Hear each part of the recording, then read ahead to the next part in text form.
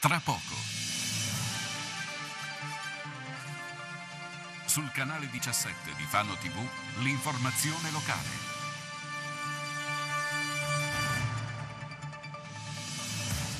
Pistola puntata in faccia per una mancata precedenza.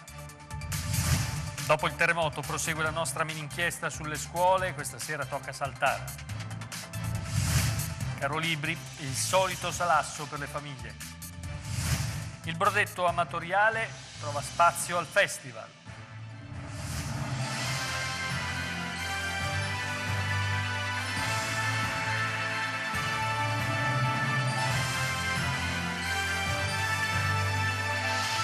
Questo è il telegiornale Occhio alla Notizia con Marco Ferri.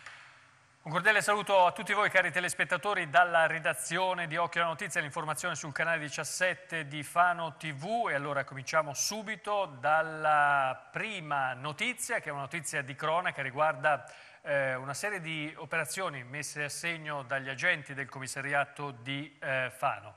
Una di queste riguarda la denuncia di un uomo che a un certo punto, per una questione di precedenza, ha perso le staffe, ha fatto un piccolo inseguimento e poi si è rivolto con l'altra persona con la quale aveva litigato, l'altro automobilista, e gli ha puntato la pistola in faccia. Ci racconta tutto Lino Balestra. Un pesarese di 46 anni, già noto alle forze dell'ordine per reati contro il patrimonio, è stato denunciato all'autorità giudiziaria per minacce. L'uomo, alla guida di un furgone nella mattinata di martedì scorso, a seguito di una mancata precedenza con un automobilista cinquantenne di Fano all'altezza della rotatoria di Ponte Metauro, si è lanciato al suo inseguimento e dopo averlo raggiunto lo ha minacciato pesantemente e gli ha puntato contro una pistola di grosse dimensioni e poi è ripartito alla volta di Pesaro. L'automobilista terrorizzato ha raccontato tutto agli uomini del commissariato di Fano che si sono messi subito sulle tracce del furgone e dopo poco lo hanno rintracciato e bloccato. Nel furgone, nascosta tra i due sedili, gli agenti hanno ritrovato l'arma che in realtà era un modello in plastica a cui era stato tolto il tappo rosso. Gli agenti del commissariato fanese inoltre hanno rintracciato due autovetture rubate una Polo nei pressi della stazione ferroviaria di Fano, trafugata a Fabriano nei primi giorni di agosto e servita per un furto in abitazione, ed un furgone Fiat Fiorino rubato in un cantiere edile a Bellocchia a luglio con al suo interno ancora la refurtiva e per quest'ultimo sono stati denunciati a piede libero due fidanzati per il reato di ricettazione. Altri controlli hanno portato a denunciare sempre per rigettazione un marocchino di 50 anni, residente alla Gimarra, perché è trovato in possesso di un telefonino del valore di 700 euro rubato all'interno dell'ospedale Santa Croce di Fano. C'è stato un incidente intorno alle 4 e un quarto di questa mattina in via della giustizia a Fano, una Fiat 500 di proprietà di una donna residente a Serrungarina ha abbattuto, come vedete dalle fotografie, ha abbattuto, dicevo, un palo della luce e un cartello stradale. Nell'urto il lampione è caduto a terra provocando un gran frastuono che ha svegliato alcuni abitanti delle case vicine, gli stessi che poi hanno avvertito la polizia che è arrivata sul posto con una pattuglia da Cagli. Gli agenti hanno individuato l'auto senza nessuno a bordo, mentre la proprietaria è stata rintracciata poco dopo e adesso dovrà fornire spiegazioni sul perché di questo incidente. Continua il nostro viaggio sul territorio sul, per quanto riguarda le scuole dopo la grande paura del terremoto. Andati, abbiamo sentito un po' i vari sindaci, stiamo ascoltando i vari sindaci per capire un po' in che stato si trovano questi plessi scolastici dove tra qualche giorno rientreranno eh, i nostri figli.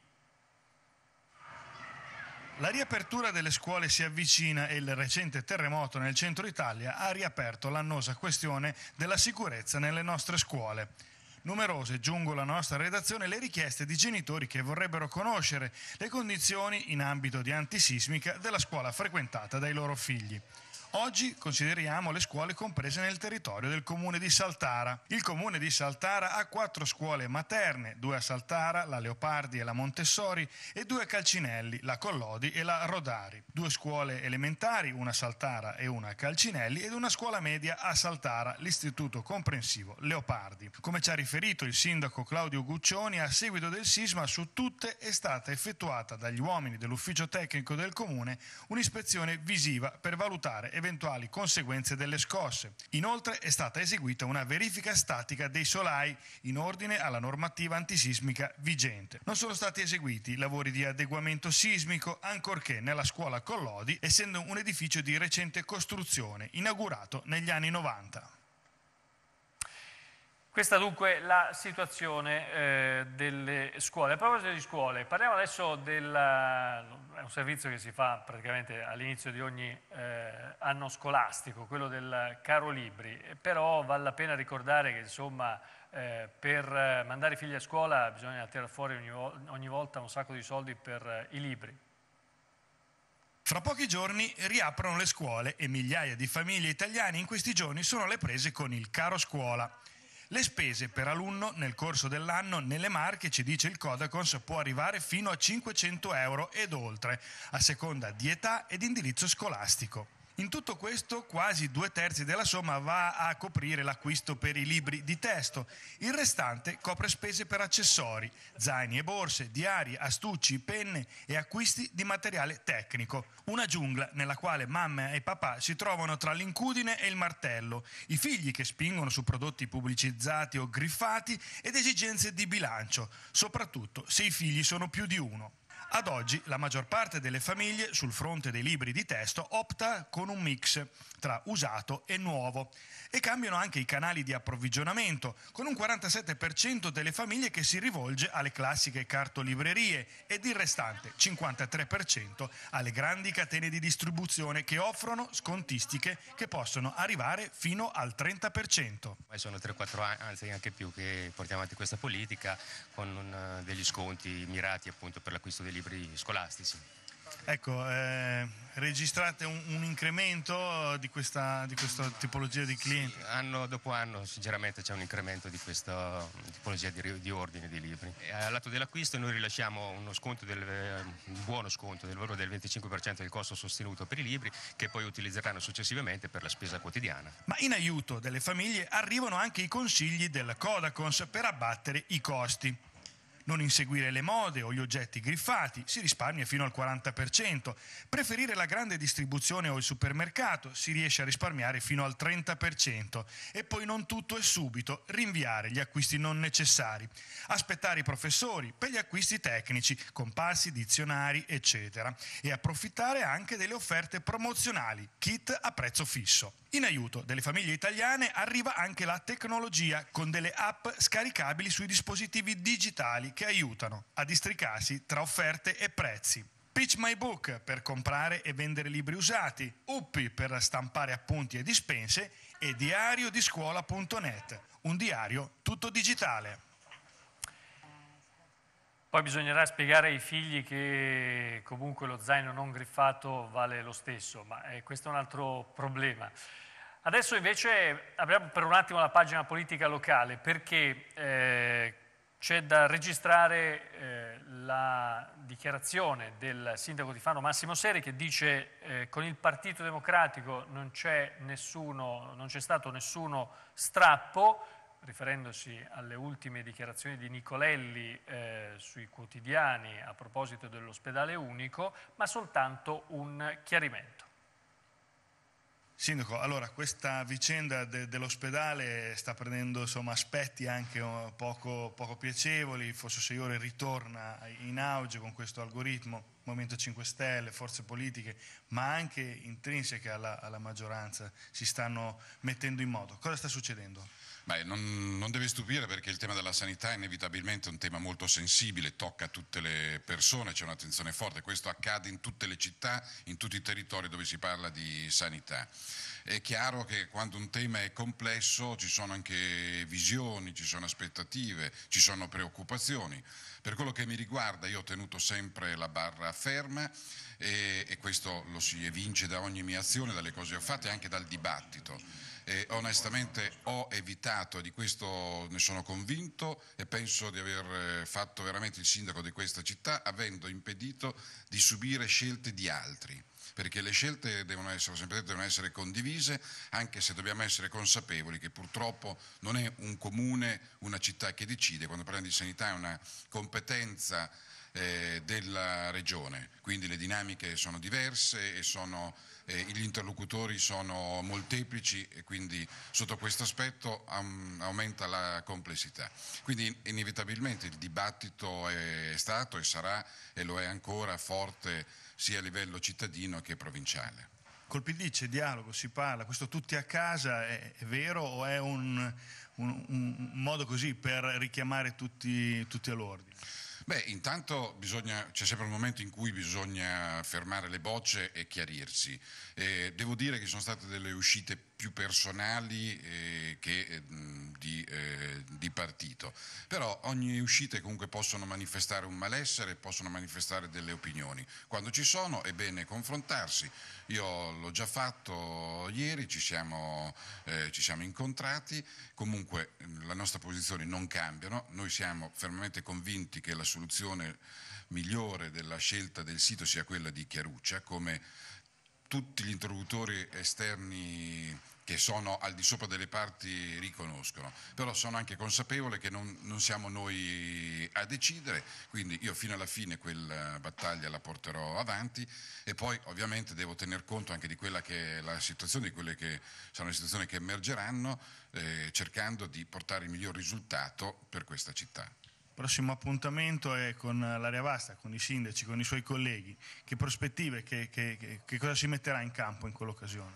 Beh, siamo in una fase di discussione perché eh, il sindaco Gambini con il quale mi sento periodicamente eh, ovviamente non è che convocherà un'assemblea allo sbaraglio, senza, cercherà di arrivare con una condivisione se questa è possibile e io mi auspico che così sia.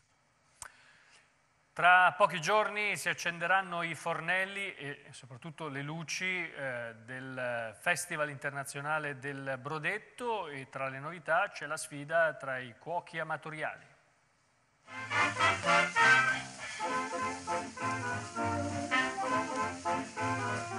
L'Italia è una penisola ed è circondata dal mare e tutte le città di mare che vivono di pesca e di pescato sono accomunate da una gastronomia che riflette la matrice del territorio o del mare in questo caso.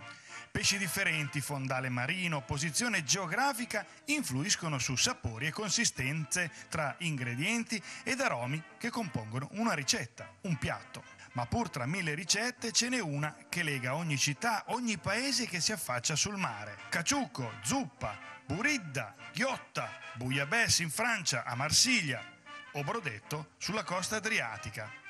Pesci diversi, mille ricette, mille varianti, con o senza crostacei, con o senza cocci, pomodoro fresco, oppure concentrato, cipolla sì o cipolla no.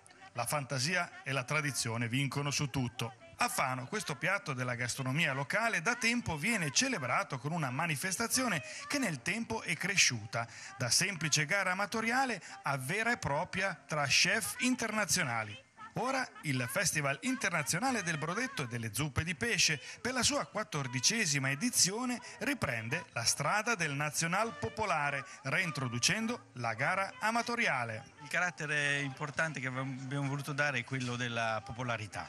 Puntiamo su una bella festa popolare, un fine settimana di grande partecipazione di pubblico, un fine settimana di grande integrazione con eh, gli altri contenuti importanti della città di Fano, il carnevale, il jazz, saranno protagonisti del, del, nostro, del nostro, festival. Quindi questo aspetto della partecipazione, di, del gioco, della riflessione intorno alla scommessa eh, di rilanciare, di sostenere la produzione ittica e il consumo della produzione ittica nei nostri ristoranti. I cooking show si terranno tutti sul palco centrale, tutti guidati da da Federico 40, il Fede di Fede Tinto, di Decanter, di Radio 2, di Rai 2, tutti con chef eh, stellati e di, grande, eh, e di grande importanza, però sono aperti a tutti e quindi tutti avranno la possibilità di assistervi, di confrontarsi con le proposte che saranno presentate.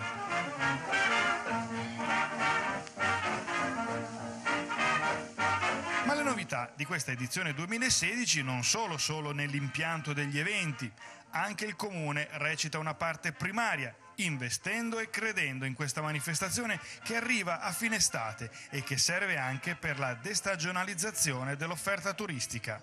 È una manifestazione che chiude una stagione che ci ha dato molte soddisfazioni, l'anno scorso 80.000 visitatori, quindi una grande kermesse che fa prestigio per tutta la regione Marche. Il tema della promozione diventa importante non solo per gli esercenti che hanno inserito tutto il brodetto nel loro menù per esempio, ma di un intero territorio, un intero territorio che è fatto di tradizioni, che è fatto di una, di una cultura enogastronomica che la gente scopre, apprezza e quindi dal vino che viene coniugato con le pietanze di pesce a un piatto povero che è diventato invece un piatto frutto di sperimentazioni dei più grandi chef nazionali e internazionali che si confrontano insieme agli chef locali.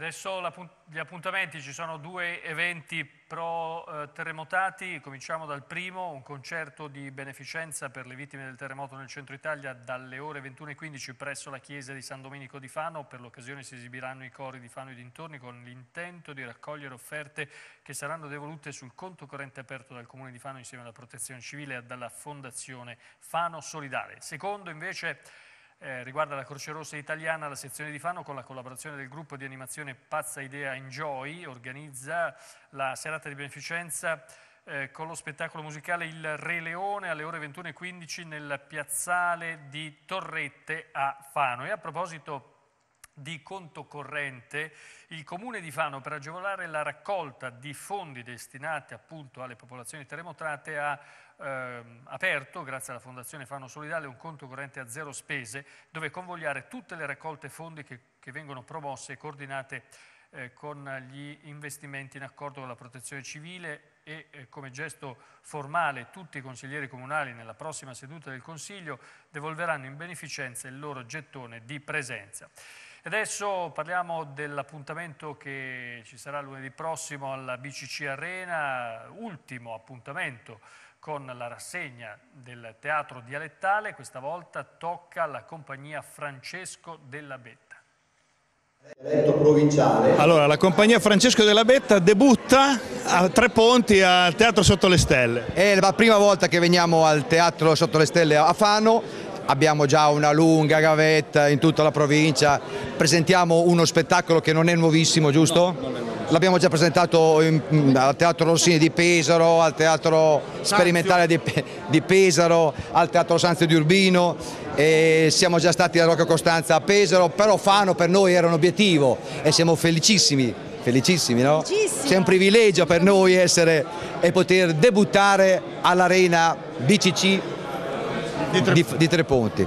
Che cosa, di che cosa parla? Un po' la trama, dai, svegliamo qualcosa. La commedia si chiama A che ora passa la Corriera delle 8. La trama adesso non possiamo perché diciamo che è, una, è, un quadro, è un quadro di una, di una famiglia con eh, delle implicazioni che diciamo, raggiungono anche l'ultraterreno. È, una, è un viaggio fantasioso, andata e ritorno attraverso il quale chiaramente però diciamo delle cose, ben preciso, nulla è ciò che appare.